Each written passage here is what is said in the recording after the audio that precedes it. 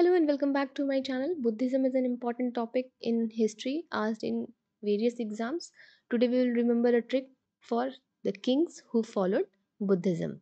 Kings are Bimbisara, Ashoka, Prasenjit, Udayan, Kanishka and Harshvardhan. To remember this, we will take first letter of each king B from Bimbisara, A for Ashoka, P for Prasenjit, U for Udayan. So the trick is Bapu, K for Kanishka and Hath will stand for Harshvardhan. So Bapu ka. If you remember this trick, you will remember all the kings who followed Buddhism. For more such simple and easy tricks, subscribe to the channel. Thanks for watching.